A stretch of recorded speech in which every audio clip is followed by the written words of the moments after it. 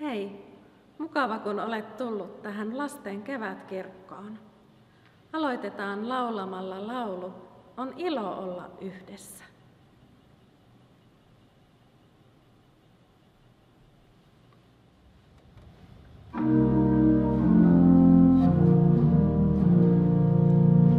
On ilo, ilo, ilo olla yhdessä, viettää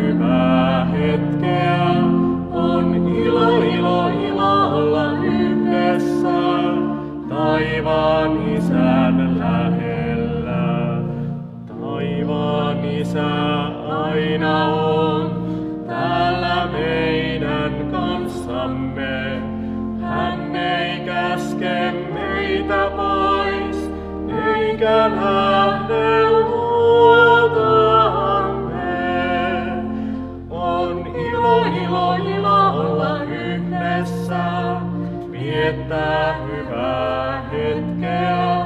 On ilo, ilo, ilo olla yhdessä, taivaan isän lähellä. Taivaan isä aina on täällä meidän kanssamme.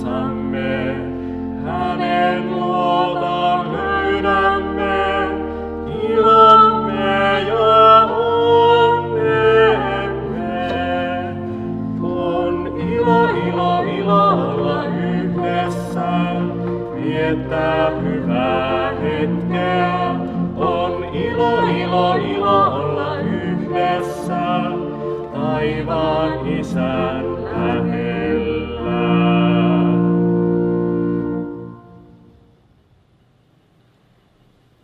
Isän ja pojan ja pyhän hengen nimeen.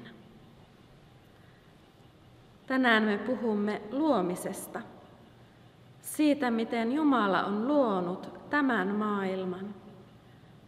Kaikki sen kasvit ja puut, ruohon ja kukat, eläimet ja ihmiset. Puhumme siitä, miten Jumala katsoi sitä kaikkea – ja hän näki, että se oli hyvää ja arvokasta.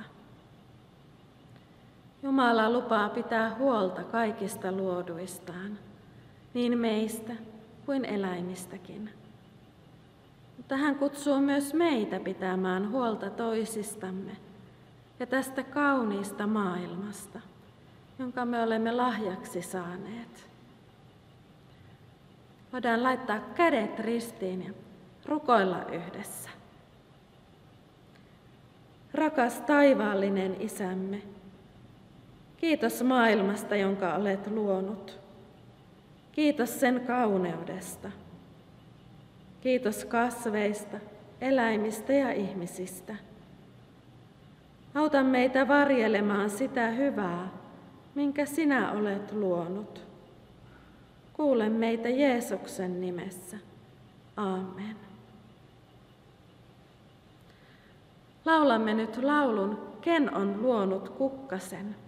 Ja sinä voit laulaa ja leikkiä siinä mukana.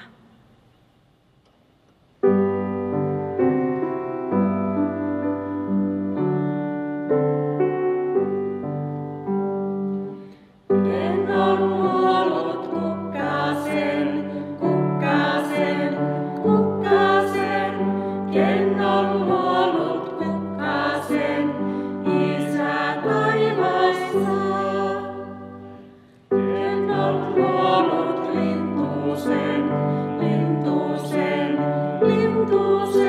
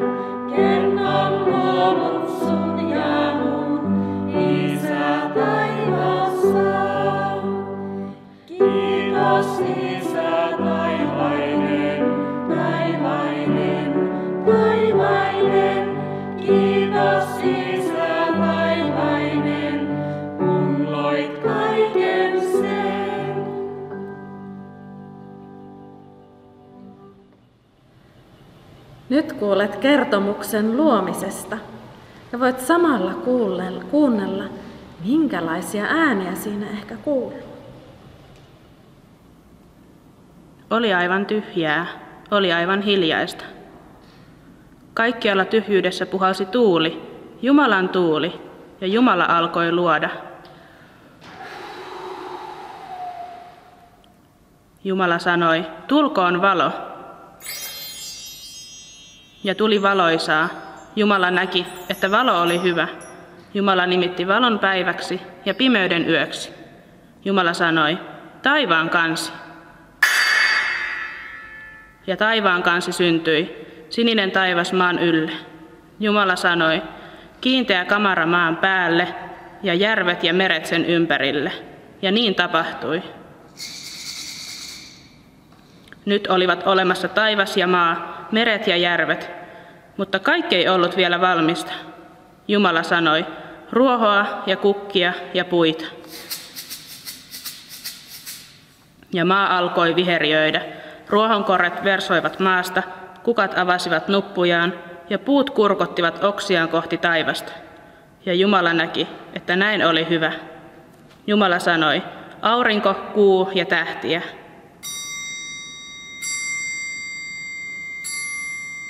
Ja niin Jumala loi auringon loistamaan päivällä ja kuun ja tähdet yöllä. Mutta kaikki ei ollut vielä valmista.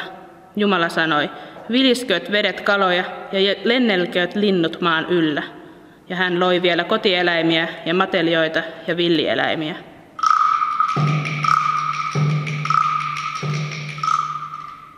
Näin kaikki erilaiset eläimet alkoivat vilistää maan päällä, vedessä ja taivaalla – mutta vieläkään kaikki ei ollut valmista.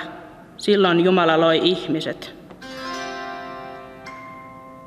Jumala siunasi ihmiset ja antoi heille tehtäväksi pitää huolta kasveista, eläimistä ja toisistaan. Jumala katseli kaikkea tekemänsä ja näki, että se oli hyvää. Kaikella oli oma paikkansa ja kaikki kuului yhteen. Ja sitten tuli erityinen päivä. Sinä päivänä ei luotu enää mitään. Se oli lepopäivä.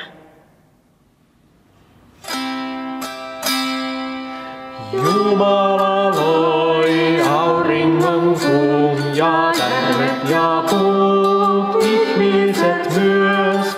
Jumala on taivas ja maa, Herra me tahdomme kiittää.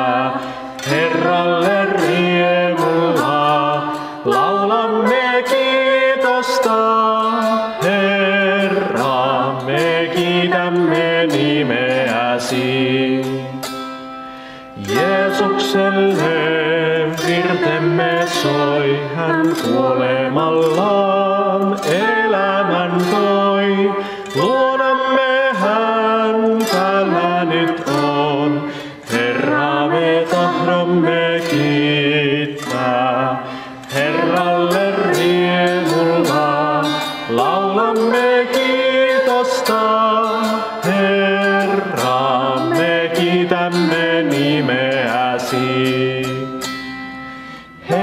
Henkensä hän heikoille suojaa keskellemme lämpöä luo. Taivas jo on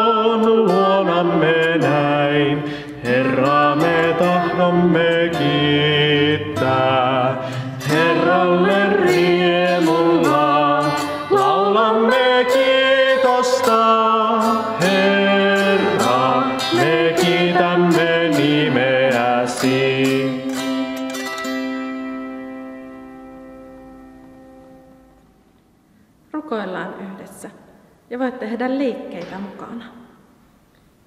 Loi Jumala auringon kultaisen, joka maallemme valoa antaa.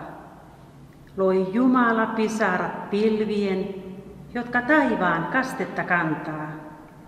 Loi Jumala korkeat, korkeat puut, kukat pensaat, tuhannet kasvit muut. Loi Jumala huojuvan heinikon, maan verhoksi vihreän nurmikon. Loi Jumala lintuset lentämään, isän hyvyyttä ilmassa visertämään. Loi Jumala värikkäät perhoset, ja pikkuriikkiset hyönteiset. Loi Jumala minutkin pienoisen, olen hoidossa isän taivaisen. Aamen. Herra, siunatkoon sinua ja varjelkoon sinua. Herra, kirkastakoon kasvonsa sinulle ja olkoon sinulle armollinen. Herra, kääntäköön kasvonsa sinun puoleesi ja antakoon sinulle rauhan. Isän ja pojan ja pyhän hengen nimeen. Aamen. Oikein mukavaa ja iloista kesää sinulle.